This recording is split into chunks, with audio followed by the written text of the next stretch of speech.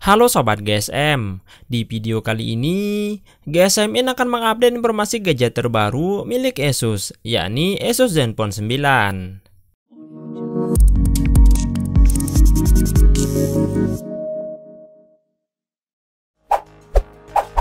Tahun lalu, Asus meluncurkan Zenfone 8 sebagai ponsel andalan yang ringkas di pasar yang berbeda. Sekarang sebuah laporan telah mengungkapkan bahwa Zenfone 9 mendatang memiliki nomor model AI2202.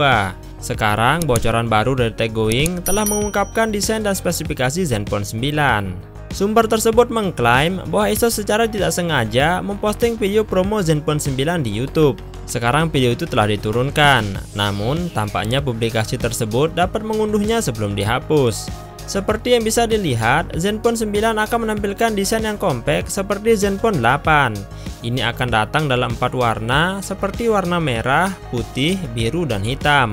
Perangkat ini memiliki layar punch hole di bagian depan dan pengaturan kamera ganda di bagian belakang. Di bagian tepinya terdapat fitur pengaturan volume, tombol daya, pemindai sidik jari yang dipasang di samping, tombol Zen Touch atau tombol pintar untuk menggeser dan memindahkan halaman, jack audio 3,5 mm, dan speaker stereo ganda. Zenfone 9 akan memiliki peringkat tahan debu dan air IP68. Video tersebut juga mengungkapkan bahwa perusahaan Taiwan akan menawarkan beberapa aksesoris untuk pembeli Zenfone 9. Ini termasuk dudukan ransel pinter dan casing yang dilengkapi dengan penyangga dan tempat kartu.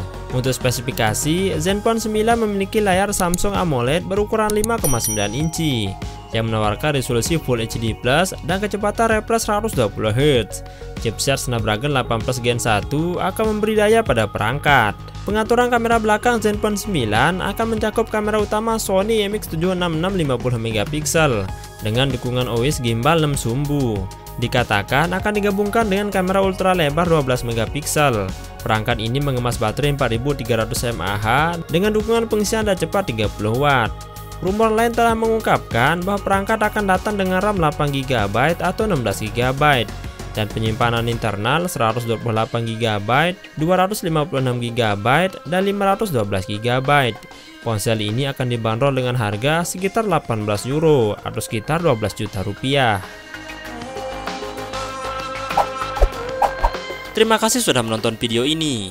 Semoga informasi yang saya sampaikan bisa bermanfaat buat kalian semua. Mari support channel ini dengan subscribe, like, dan di-share. Sampai jumpa di video menarik berikutnya.